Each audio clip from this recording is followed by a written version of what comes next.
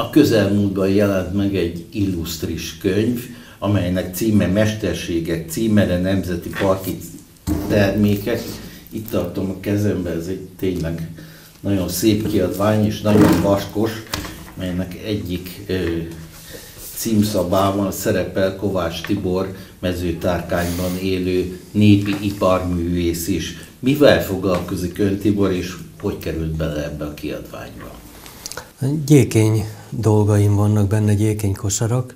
Hát úgy kerültem bele, hogy a kosaraimra megkaptam a Nemzeti Parki termék címet, ami azt jelenti, hogy helyben szedem az alapanyagot, és ott helybe fel is dolgozom, és nemzeti parki termékről származik az alapanyag, tehát mindenféle kemikália mentes, tehát természetes, és hagyományápolás. Ez a Bükki Nemzeti Park. Ez a Bükki Nemzeti Park, mert ezt sokan nem tudják, de a Bükki Nemzeti Park az az egész délhevesi síkságot magába foglalja, sőt még Borsodnak déli részét is, egész a Tiszató ároktő. Tehát így mező tárkány is a Bükkin Nemzeti Parknak a területén fekszik. Mióta foglalkozik készítéssel, és honnan jött egyáltalán? Hát elég régóta foglalkozom, nem is tudom, valami 30-40 éve körülbelül, 35 szerettem az anyagot, már gyerekkoromban is érdekelt a gyékény. Hát persze akkor csak a növény maga. Találtam régi fekete-fehér fotókat, amin gyerekkoromban már fényképeztem a gyékény növényt, aminek úgy belegondolunk sok értelme nincsen, mert... Hát, mi foghat meg egy gyereket a gyékén? Nem tudom, nem tudom a magyarázatát, nem tudom, már akkor érdekelt, fotóztam, nem, nem, nem tudom a magyarázatát, de ez, ez meghatározó volt, tehát utána elkezdtem keresni, hogy mit lehetne belőle csinálni, akkor találkoztam gyékenykosarakkal, néprajzi múzeum, különböző kutatások, emberek felkeresése, és megrakadtam, ezt csinálom. Ön foglalkozik csipke készítéssel és halászháló készítéssel. Ez párhuzamosan ment, vagy, vagy egy gyékénytől indult el, és utána kezdődött a, a háló felé érdeklődni? Hát ez így visszagondolva egy egyenes út volt, valóságban nem annyira. Hát egy gyerekkoromban rengeteget voltam vízparton, pecáztunk, ott mezőtárkány Fürödtünk, nem, én Dunántúlon laktam. És volt ott egy ö, halastó, és ö, volt egy ismerősöm, egy, ö, aki, akinek az édesapja tudott halászállót kötni, és így a 70-es évek elején valamikor megmutatta, és akkor kötöttem magamnak egyszerű haltartó szákokat, utána már azzal jártam horgászni. Hát aztán halászoknál láttam, hogy van varsa is, akkor utána jártam, azt is megkötöttem, dobóháló, tükörháló, ilyen háló, olyan háló.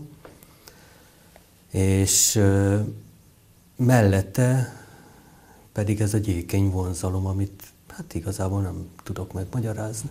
Tehát És hogyan a... jött a képbe a csipke? Hiszen az, az, mindenki azt gondolja, hogy ez, ez valami női é, dolog, a csipke készítés, viszont azt lehet tudni, hogy amikor először, tehát a középkorban csipke készítők, azok férfiak voltak.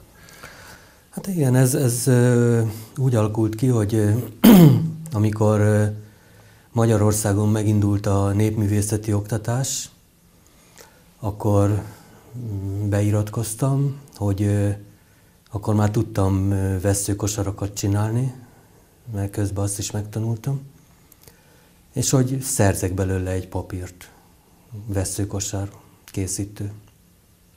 És egy nyári tábor alkalmával az iskolában mellettünk dolgoztak a csipkekészítők, és rececsipkét tanultak, aminek az a lényege, hogy egy nagyon apró szemű halászállót kell kötni, azt kifeszíteni egy keretre, és akkor különböző mintát belehímezni egy hímzőtűvel.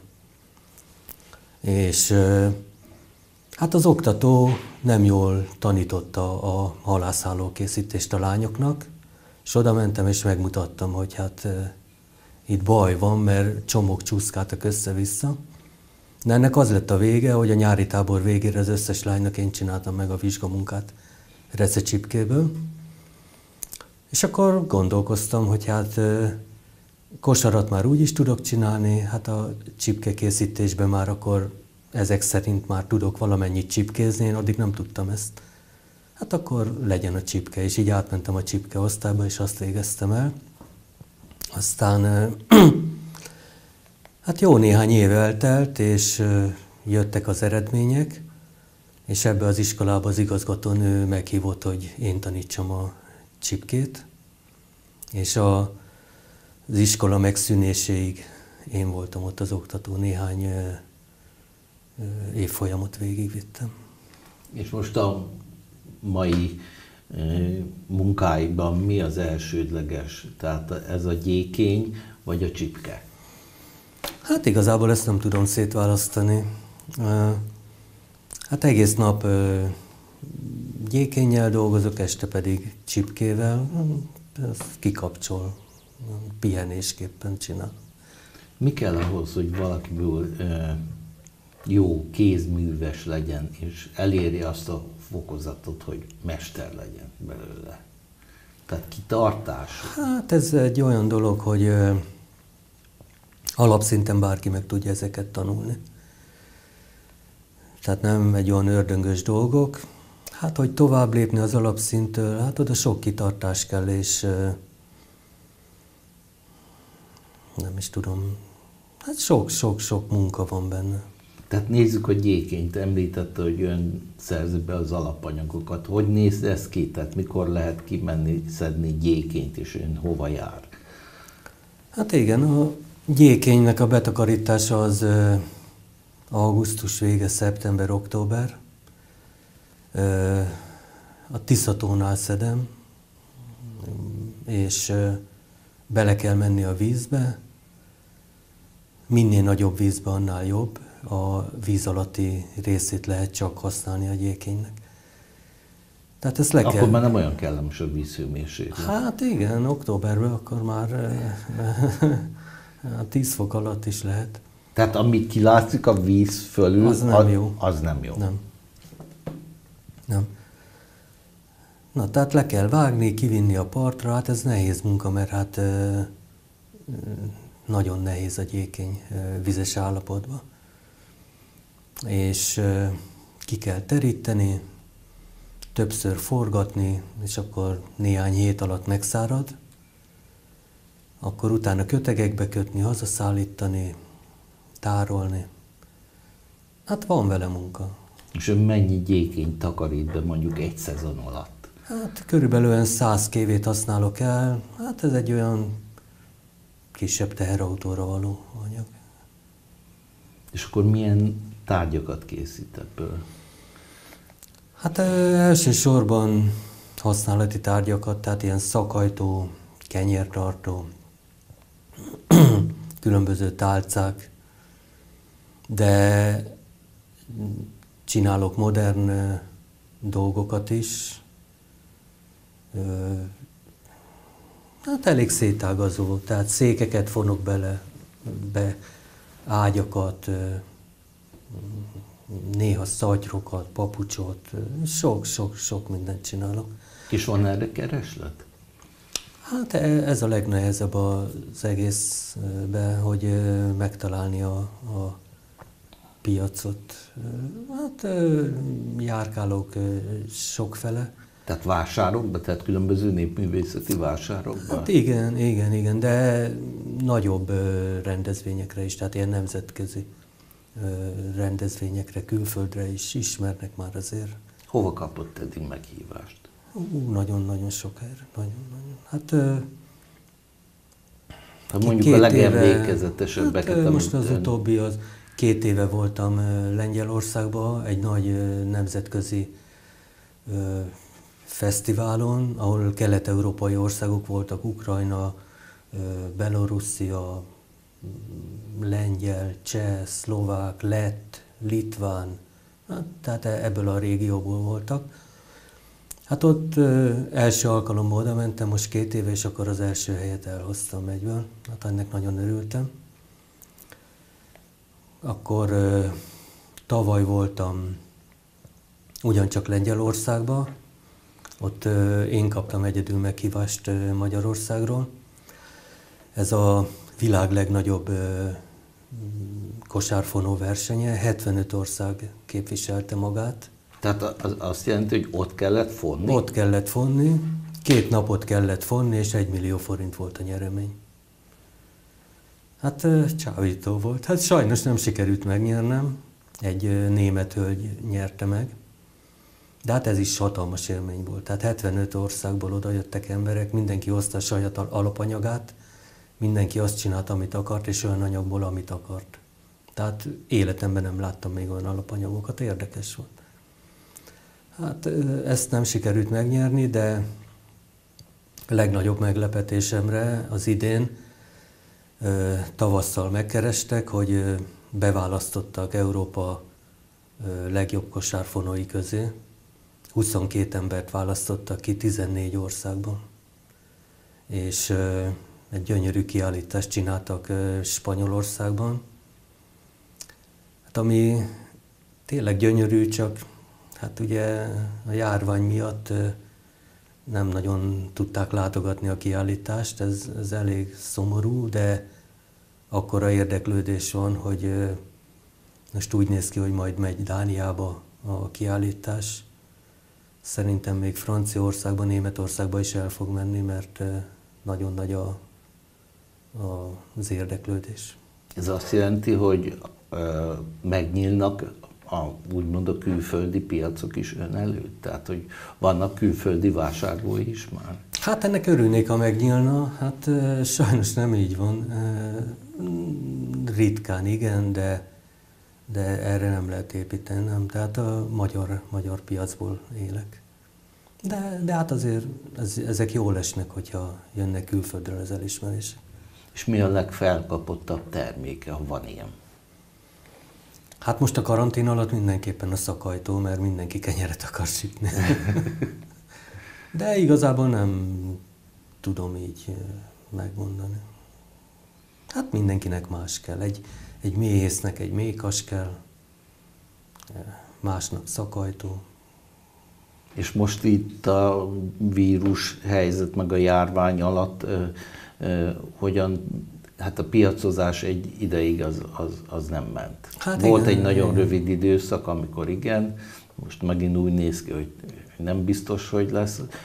Tehát online térben megjelenik, tehát valamiféle webshopban lehet kapni az ön tárgyait? Nem, nem így, így webshopban nem lehet. Hát ismernek már, hát azért az elmúlt évtizedek alatt azért már ö, megismertek, és ö, nem tudom, hogy terjed a híre, hogy vagyok. Meg hát valakinek ilyen kell, akkor sok választása nincsen, mert már ez egy annyira kihaló félbelevő mesterség, hogy vagy megveszi nálam, vagy sehol. De me- mennyi ember foglalkozik ezzel most Magyarországon? Tehát úgy is látja, hogy azért benne van ebbe a szakmába. Hát igazából nem lehet megmondani, hogy hány ember foglalkozik vele, mert ö, tanítják is több helyen, két helyen tanítják az országba ott minden évben jönnek ki a, a papírral rendelkező emberek. De hát gondolom nem, nem elég a papír. Igen, ez. igen, igen. Azok közül, hát nem tudom mióta tanítják, egy 15-20 éve tanítják biztos. Ez alatt egyetlen egy embert nem sikerült kinevelni, aki, aki ezzel foglalkozna. Aztán van még néhány idős ember, akik még ebbe beleszülettek, még tudják csinálni, de hát egyre kevesebb a számuk. Az ő munkáikkal nagyon ritkán lehet találkozni, tehát ők télen megcsinálnak egy-egy kosarat. Aztán ezen kívül behozzák még kereskedők Erdélyből, Ukrajnából, gyékénykosaratot még csinálják. Magyarországon nem nagyon, nem nagyon. Van ilyen próbálkozás, hogy munkanélkülieknek tanítják meg, Hát ez rövid ideig működik, de, de hosszú távon ez sem. Tehát úgy, hogy minden nap ezzel foglalkozik, úgy, úgy egyedül vagyok, már nincs más. És mennyi idő alatt készül el mondjuk egy szakajtó? Hát egy szakajtó mondjuk egy délelőtt. Egy kettőt lehet megcsinálni belőle egy nap. És akkor ő minden nap ö, fel kell, és akkor elkezdi a munkát. Minden nap. Minden nap a gyékenyel foglalkozom, igen. igen. És hogyan került bele ebbe a kiadványba? Tehát ezt a Nemzeti Park ajánlotta önt, vagy más csatornákon keresztül jutottak el ahhoz? Ezt a könyvet már régóta meg akarták csinálni, hát most sikerült. A Nemzeti Parki termék címet elért embereket megkeresték az egész országból, és ebből egy válogatás látható ebbe a könyvben. Tehát csak egy töredéke került bele ebbe a könyvbe. Hát azt mondták, hogy nálam már az elsőbe egyértelmű volt, hogy belekerülök, mert hogy, hogy nincsen más. Hát örültem neki. És ha én például innen Füzesabonyból elmennék önhöz mezőtárkányba, és mondanám, hogy Tibor szeretnék ezt, vagy azt készítetni, akkor ezt ön elvállalná? Igen. Igen, hát ha tudom, akkor megcsinálom. És mely, melyik az a termék, amire különösen büszke, amit megcsinált, és azt mondta, hogy erre, erre nagyon büszke vagyok? Hát olyan, hogy büszke, azt, azt nem is tudom. De szakmailag, ö, akkor melyik volt a legnagyobb kihívás? Szakmailag a kihívás az a ilyen külföldi filmstúdiók egyekről, foltról, amikor megkeresnek, hogy díszletet csináljak nekik. Tehát gondolom, és, milyen középkori filmek. Igen, de fantasztikus filmekben is csináltam már, az Óz a csodák csodája. Tehát ilyen sok filmbe csináltam. Na, na ezek kihívások, mert ö, ők ö, rajzon ö, megálmodnak egy jelenetet, és nekik az kell. Hogy azt meg lehet csinálni gyékenyből, vagy nem lehet megcsinálni, őket az nem érdekli. Szakmai tudásuk nincsen róla semmi, hanem egy rajzol odaállítanak, hogy nekik ez kell. Na hát ez, ez kihívás, ez, ez kihívás, mert, mert olyan ötleteket kitalálnak, hogy, hogy hát ez, ez nehéz, nehéz, de nem baj, mert... Tehát egy filmben például mi, mi készül gyékényből? Tehát azt gondolná az ember, hogy jó, egy középkori filmben ott vannak a szakajtók, vagy... De mi az, amit azt mondja ön, hogy nem is gondolt volna erre? Hát például a, a Borgyák filmsorozatban kellett csinálnom hajóütközőt, amit a hajó oldalára akasztanak, hogy a hullámzásba ne verődjön oda a parthoz. Na most ezt a valóságban gyékenyből megcsinálni, az egy butaság, mert abban a pillanatban vége van, ahogy oda ütközik, de, de a filmben ez nagyon jól mutat. Na most ebből kellett néhány darab, na tehát akkorák voltak ezek az ütközők, mint én. Tehát ilyen magas. Hát ez, ez egy borzasztó nagy kihívás volt. Akkor hát az Ósz filmben például a Dorotinak a nyakába kellett egy bogyószedő kosár, aminek a, az alaprajza olyan volt, hogy, hogy azt gyékenyből nem lehet megcsinálni. Tehát vagy kört, vagy oválist lehet csinálni gyékenyből. Na most ez valami harmadik volt. Na hát ezen rengeteget kínlottam, mire megcsináltam, de érdekes volt. És változtatni nem lehet rajta. Tehát amit ők leadnak, rajzot, annak pontosan olyannak kell lenni. Tehát ez, ezek, ezek kihívások. És mik a tervek a jövőre nézést? Hát, Tehát reggel fel kell, és akkor... hát sok kiállításom volt Európa szerte. Most az idén is lett volna legalább 5-6 ezek elmaradtak, már jeleztek, hogy jövőre számítanak rám, hát oda kéne valami szép dolgokat csinálni kiállításra, ilyen nemzetközi kiállításokra. Hát ezen kívül nagy terveim nincsenek. nincs. Hát ö, azt csinálom, amit akarok. Élem az életem.